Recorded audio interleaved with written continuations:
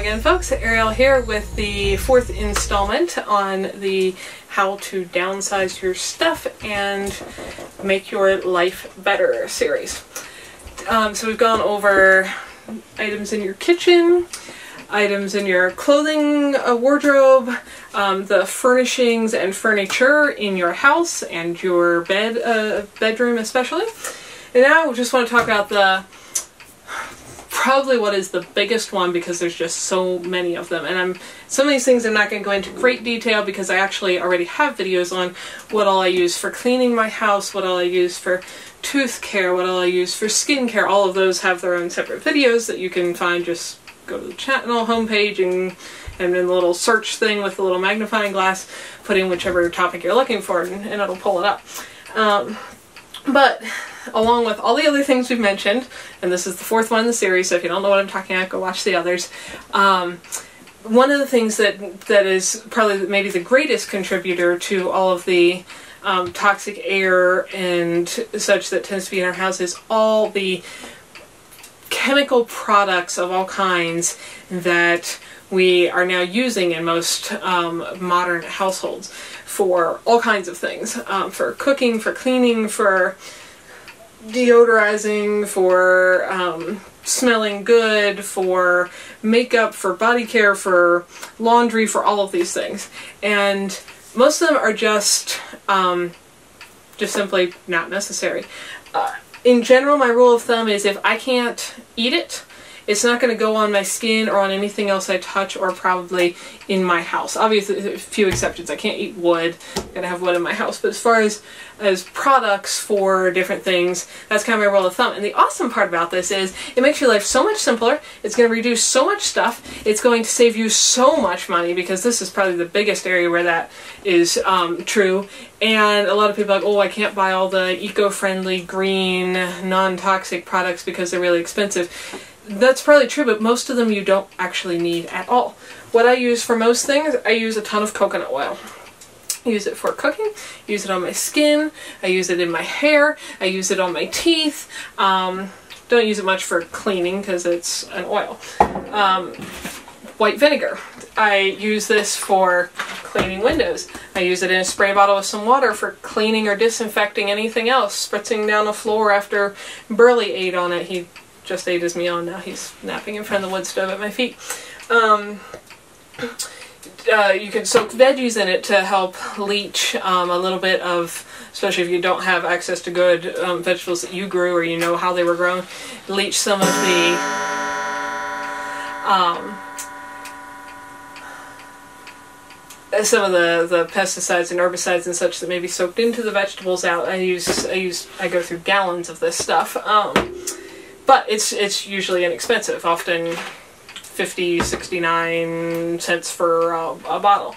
Um, you can disinfect a lot of things. You can whiten your teeth. You could you could even bleach your hair. It's a little drying um, with hydrogen peroxide. Again, very very inexpensive um, for uh, a lot of moisturizing hair, skin, you know, whatever. I use aloe. Um, you can also drink it. A lot of how your hair and skin looks comes from what is going on inside your guts and so on, and what you are taking in, not just what you are putting on the outside, but like I talked about with clothing, your skin is a very big organ, and things you put on the outside do soak into your skin very quickly. My hands are actually a bit dry from dishwashing and the dry air. It's been frigid here um, right now, and aloe is very, very moisturizing. Um, for so yeah, for cleaning, I pretty much use hot water, soap. Um, there's a good Dr. Bronner's soap. There's a few other non-toxic ones. You don't need that much soap. It doesn't need to make bubbles. It doesn't need to have all kinds of scents. That, that's one of the things that really drives me crazy. People pick up something, whatever, a freshly laundered sheet or something, but oh, it smells so clean. And to me, it's just crazy because clean doesn't smell like anything. It smells like nothing. When it's clean, it doesn't smell. Those smells that you're smelling are actually all kinds of poisonous chemicals off-gassing that you've got into your head are the smell of clean because that's what's been sold to you by the ads by the people who want you to buy their stuff. That's not smell like clean. That smells like, and to me, being more sensitive that I, I really can't use most laundry detergents and stuff. It makes my my skin break out if I wear clothing that's been laundered in that stuff. So I'm I'm very aware of this. But to me, that just seems so insane because to me it so clearly smells like, oh my goodness, that's that's toxic. And other people are like, oh, it smells so clean. Um, for laundry, I mainly use soap nuts. These things look like little acorns, if you can see them through the bag there, kind of. Um, these are, are awesome. They don't really make much suds. They get the dirt out of your clothes. I am going to do a whole video on laundry. I know lots of people have asked me. I do have a couple blog posts on it right now. I just have not gotten to doing a video. I don't do laundry that often because um, back to the clothing thing when you have natural fibers they don't they don't get that dirty or smell that quickly and I've, if I'm wearing a shirt and jeans for doing something really dirty out in the woods. I'm often doing the same thing the next day, so I simply hang it up and put the same clothes on to finish the project because there's no real need to wash it in between. So I just don't do laundry that often. Um, so yeah, for laundry, it's simple to use very non-toxic things. If you've got a little bit of an odor, like if you're getting some armpit odor on a, a shirt or something, I do have a spray bottle.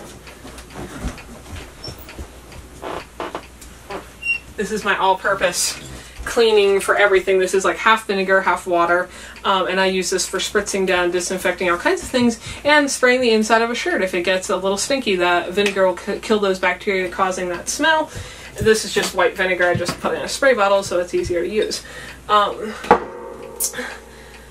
so yeah, laundry super simple and inexpensive. I mean that's that's the great thing about all these things. They're almost all way way cheaper than the poisonous stuff. So why spend more and be poisoned more and have to deal with more stuff? Vinegar gets used for all kinds of things. Vinegar in a spray bottle gets used when I want to apply it in a more spray kind of way.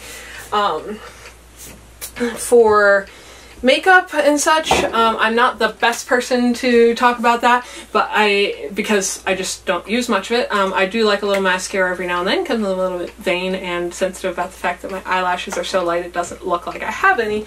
Um, and I don't want them to look like fake, I just wanted them to look like I had some. So this is just a natural brown mascara. Um, this is from Honeybee Gardens. I'll link that down below. It's probably the, the um, most natural one I've found that doesn't. A lot of makeup and stuff has like formaldehyde and all kinds of just really awful stuff. Again, look this stuff up yourself, guys. It's not that hard to find when you when you actually want to learn about it and read about it. So that's what I use when I do use um, makeup. And there are quite a few people out there like crunchybetty.com, wellnessmama.com. There's a lot of other women who do more girly makeupy stuff than I do. If you want to do some more natural things and, and other things um, to give you all kinds of ideas and tips about that. But the sad thing to me is that a lot of us, women especially, and men are getting plenty of chemical exposure as well, but women are putting more of it on our skin where it soaks directly into our bodies and um, I think the average is that like the average American woman is exposing herself to something like I don't know if it's 340 it's some crazy big number i'm not going to say the number because i don't know what it is some crazy big number of hundreds of toxic chemicals before she even walks out the house most mornings um, and that really does have an effect on our on our health and it's expensive. I mean, you ladies have to know if you if you buy all this stuff, it costs a fortune. Again, most of having healthy skin, not that mine's perfect, but it's so much better than it ever was, even when I was a baby. Um, it, it comes from figuring out your digestion and your health and your nutrition and all of that stuff, not just what you slather on top of it. Um, and if you want to smell good, everything that says fragrance that covers um, you would think that would be a thing, and I think when it's a, you pick up a bottle and it says, "Oh, smells like roses," and at the bottom of the ingredient list it says fragrance. I think in a lot of our heads that is. Um, oh, obviously they squished up some rose petals and put it in there. It smells like roses. It's got a fragrance. That's that's very rarely what is going on. Um, fragrance is a, a, designation that allows the uh, company to not list the chemicals that are in there sometimes that one word covers dozens or hundreds of things that are in there, a lot of which are poisonous. Um, I know a lot of you followers are in Europe. I think you guys have some number of thousands of chemicals banned um, that are um, still allowed to be put in things that people here in the US are using. So, uh, people in this country in the states are getting a lot more of those toxic things in all of their products without knowing what it is. If you want to know, I mean, this is a, this is a huge subject, subject and something I get really passionate about because it is so uh, very much affected my personal life. But if you want to learn more about that, there's good. If you've got Netflix, I think there's a good documentary on there called Stink. Maybe is the title. I'll see if I can find a, a link down below. Um, and, and there's quite a few, you know, easy ways to learn about this stuff and what it's actually doing to our bodies. But anything that says fragrance, I would avoid. Candles, air fresheners, um, body sprays, most uh, perfumes, anything that's scented hand lotion, scented dish soap, scented whatever. If it says fragrance, I treat the entire body like it is uh, if it says fragrance on it, I treat the entire bottle like the thing is poisonous. Um, and if they if they're concerned about enough about not wanting to tell me what they actually put in it, because again that one word covers a whole list of chemicals, I just don't want to take the risk. That's my personal choice. I'd rather use something I know what it is. If I want to smell something, I put some in the like pot water uh, uh, pot that's always just heating on the top of the wood stove to add some humidity back to my air, or even on my own skin or something. You can use an essential oil like jasmine or rose or something. These things smell awesome. You need like one teeny weeny little drop if you're going to use it as a perfume um, or to make a house smell good. And these things are are actually not poisonous for you, which is amazing. Um, they are a little expensive, but a bottle like this will last you forever. I, I think I've had a bottle of jasmine for I don't know six, seven years, and it's mostly full still. Um, anyway, so this is like this is what I use for all of my cleaning, personal care, laundry, all of that stuff. And if you learn to use these more natural things, like I said again there, I just I don't see a downside. You have less stuff, it takes up less space. If you have a dog that gets into it and drinks the vinegar, which in my experience most dogs don't love the taste of vinegar, it's not going to kill them. If your child drinks the vinegar, it's not going to kill them. Um, it's it's cheaper, it's healthier, there's less stuff, there's just, uh, and to me it is uh, absolutely only upsides.